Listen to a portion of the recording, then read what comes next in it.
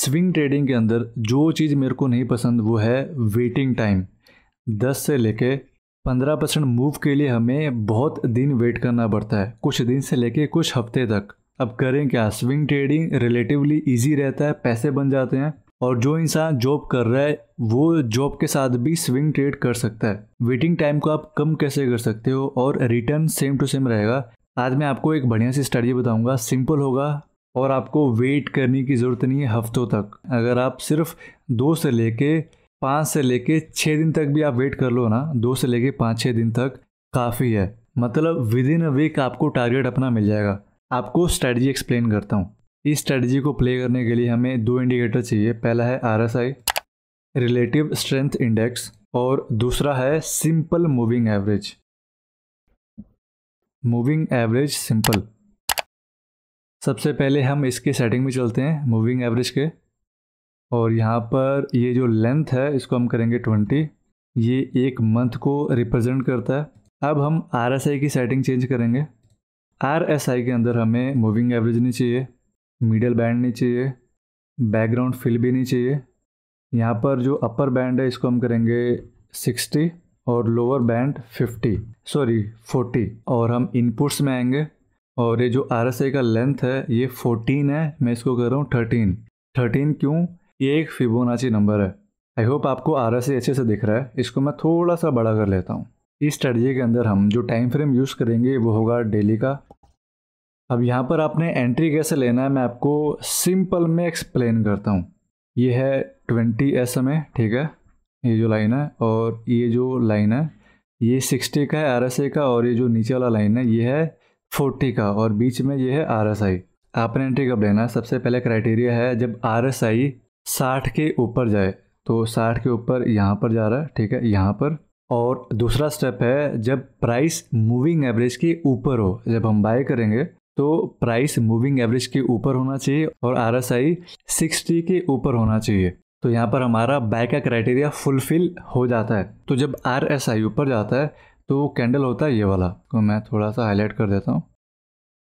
ये वाला कैंडल ये ग्रीन वाला, जब आर एस आई साठ के ऊपर जाता है, ये जो कैंडल है ना, इसका जो क्लोजिंग प्राइस है, ठीक है, इसके ऊपर जब भी कैंडल जाता है, जब भी प्राइस इसके ऊपर जाता है, तब हमने बाय कर लेना है। अगर आप ध्यान से देखोगे, ये जो दूसरा कैंडल ही है ना, इसके ऊपर क्लोजिंग दे देता है। बहुत बड़े मार्जिन से नहीं बट माइनर मार्जिन से भी आप देखोगे, इसके ऊपर क्लोज हुआ है। अगर मैं लेवल चेक करूँ मोटा मोटी हम बोल सकते हैं टू टू, फोर और ये जो कैंडल है, इसका जो क्लोजिंग प्राइस था, ये था two two, three point five, ये वाला कैंडल, ठीक है? अब ये जो नेक्स्ट कैंडल है, इस कैंडल के ऊपर चला जाता है। इस कैंडल का जो क्लोजिंग प्राइस है, दो सौ तेईस रुपये पाँच पैसे है, ठीक है? सॉरी, पचास पैसे।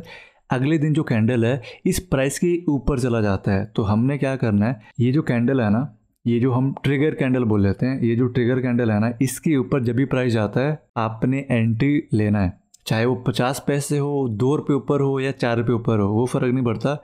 यहाँ पर बहुत ही छोटा सा मार्जिन है, सिर्फ़ पचास पैसे ऊपर क्लोजिंग हुआ है, तब भी आपने एंट्री ले लेना है, ठीक है? ये जो ट्रिगर कैंडल था ना, इसके लो पर आप स्टॉप लॉस लगाओगे, इसके लो पर आप स्टॉप लॉस लगाओगे, ठीक है? और टारगेट क्या होगा? टारगेट मैं आपको बताता हूँ। इस कैंडल का जो क्लोजिंग प्राइस था, वो दो सौ तेईस रुपये पचास पैसे था। और इसका जो लो है, यहाँ पर हमने स्टॉप लॉस लगाना है, वो है रफली 200 हम 20 बोल लेते हैं, ठीक है? 220 का हमारा हो गया स्टॉप लॉस 224 पे हमारा हो गया एंट्री ठीक है? ये है हमारा एंट्री और ये हो गया हमारा स्टॉप लॉस अब यहाँ पर जो हमारा स्टॉप लॉस है, वो है चार पॉइंट का, ठीक है? तो आप टारगेट क्या करोगे? आप टारगेट करोगे आठ पॉइंट का मतलब वन इस टू टू का टारगेट लेके चलोगे। हमें आठ पॉइंट इस कैंडल पर ही मिल जाता है। Two, three, two. आठ पॉइंट हमें इस कैंडल के क्लोजिंग पर ही मिल जाता है, सिर्फ़ रफली बोल सकते हैं, तीन दिन के अंदर। मैं एक एग्ज़ाम्पल और लेता हूँ। यहाँ पर मैंने शेयर लिया, राइट्स का। टाइम फ्रेम सेम है, डेली का ही है। और यहाँ पर आप देखोगे आर एस आई सिक्सटी के ऊपर चला जाता है, इस कैंडल पर, ठीक है? और प्राइस मूविंग एवरेज के ऊपर है। सभी क्राइटेरिया हमारे फुलफिल हो गए हैं। अब हमने आगे क्या करना है? इसका जो क्लोजिंग प्राइस है, इसके ऊपर जब प्राइस जाएगा, हम एंट्री लेंगे। इसके लो पर हमारा होगा स्टॉप लॉस मैं लेवल देखता हूँ। जो इसका लो है, तकरीबन है, ये है थ्री डबल एट और इसका जो क्लोजिंग प्राइस है, वो है चार सौ आठ फोर ज़ीरो एट ठीक है? तो जब भी प्राइस इसके ऊपर जाता है, हमने एंट्री ले लेना। अब मान लेते हैं, इधर हम एंट्री नहीं लेते। इस कैंडल पर इसके ऊपर क्लोजिंग नहीं है, इसके आसपास ही है, ठीक है? इस कैंडल में हम बोल सकते हैं कि इसके ऊपर क्लोजिंग दी है। ये लेवल है राउंड नंबर लेते हैं 420 ठीक है? इसका जो क्लोजिंग प्राइस है, ये है 420 हम इस पे एंट्री लेंगे।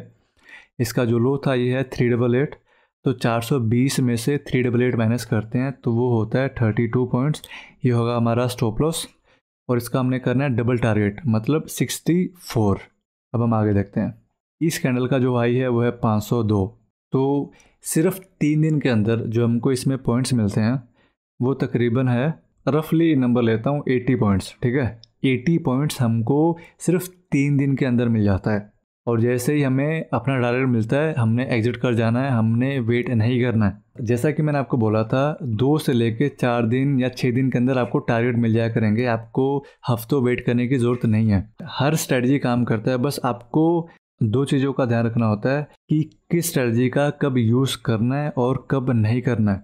बाकी आप मेरे से जुड़ना चाहते हो डिस्क्रिप्शन बॉक्स में फाइव पैसा और अलाइस ब्लू का लिंक दिया हुआ है। उधर से अकाउंट ओपन करके आप मुझे इंस्टाग्राम पे मैसेज कर सकते हैं, उसका भी लिंक डिस्क्रिप्शन बॉक्स में